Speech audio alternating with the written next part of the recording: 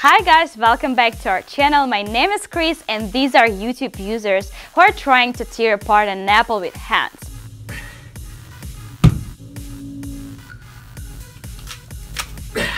No, don't think that they're awkward, they just want to repeat the new challenge and the main idea of this challenge is damaging fruit. I hope that Apple company do not relate to this mess. And these are not all of the news for today, just please keep on watching and you will get to know. Which panorama camera has the same price as an apartment in Moscow? Will Sony PlayStation headset work without any console? And who has set iPhone users on the bottom of the sea?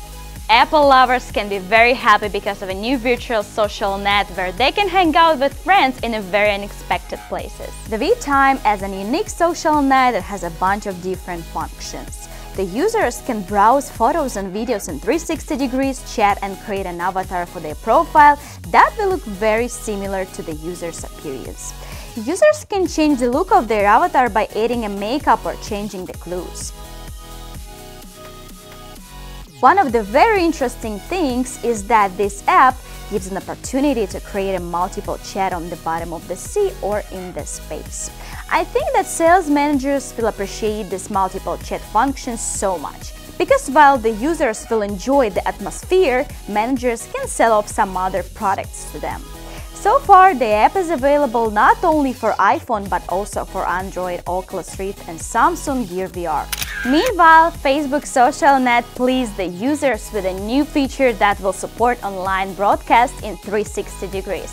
So, if you're a Facebook user, you will be able to show your life in 360 degrees, which is awesome. This cool news were announced on an official blog of the company.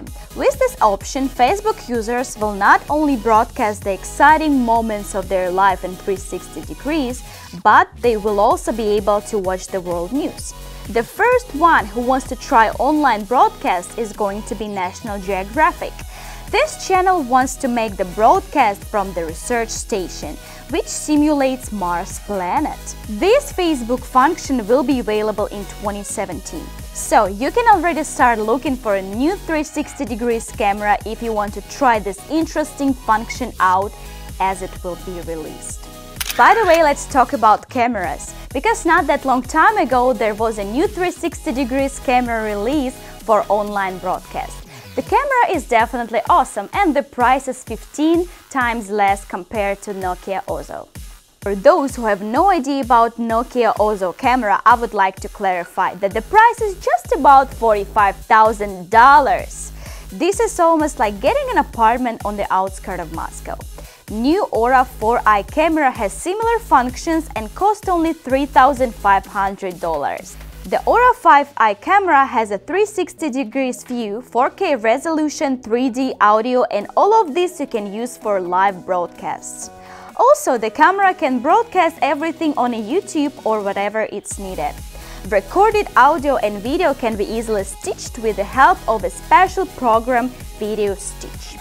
The price is not that good as it could be, but cheaper models cannot guarantee us high quality and well done work. The New York Times has also got a 360 degrees camera and has already started making some cool virtual projects one by one. In the last one, the company has even involved some very famous celebrities such as Kristen Stewart and Natalie Portman. The Great Performers Project is a series of nine short films in noir. Each episode attended different celebrity. The most popular is a video with Kristen Stewart, Natalie Portman and Sasha Lane. All the performances are happening in a mysterious bar, where each actor plays its own unique story. So if you're interested, go to YouTube and check it out. It is better to do it having a virtual reality glasses on because you will get the effect of being present on a set.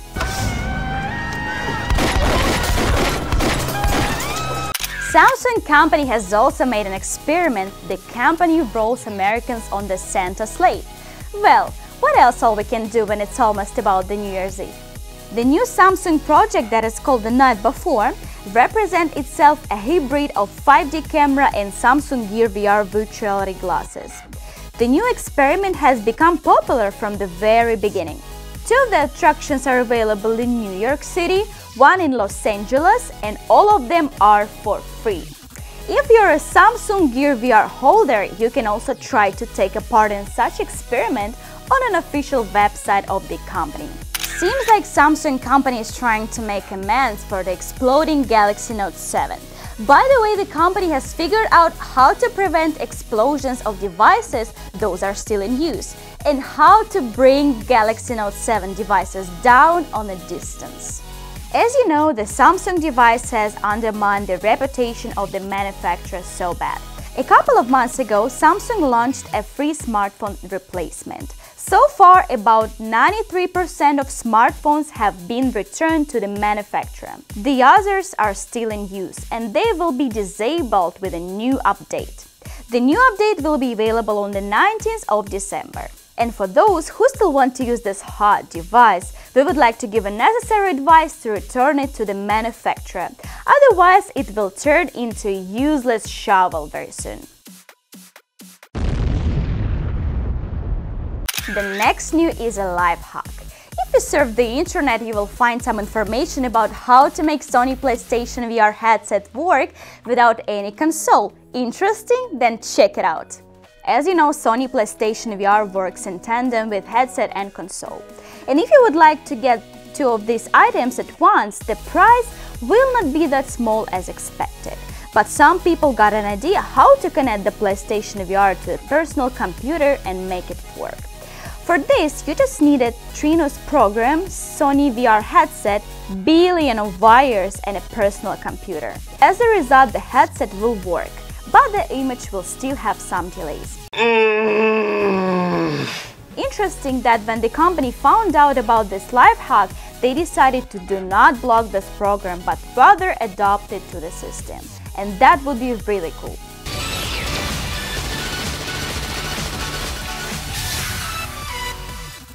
Well, and last but not least news are about virtual reality games. And if you like space, robots and shooter games, this is definitely what will make you happy. The new ROM extraction game was released specially for the Oculus Touch controllers. This game was made on the Unreal Engine platform and the main idea of this game is killing terrible robots that attacks from all the sides. An interesting thing about this game is that the gamer can slow the time down and this option is called Reflex. With this function you can confuse the enemy aliens. The ROM extraction game can remind you a raw data shooter game, but the price of the ROM extraction game is two times cheaper.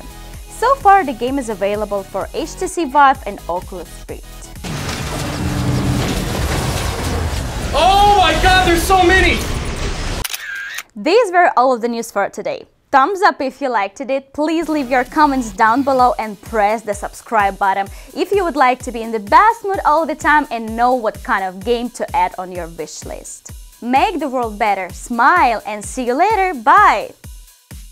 If you would like to know more about virtual reality and video games, click here and you will see cool news from 3D VR.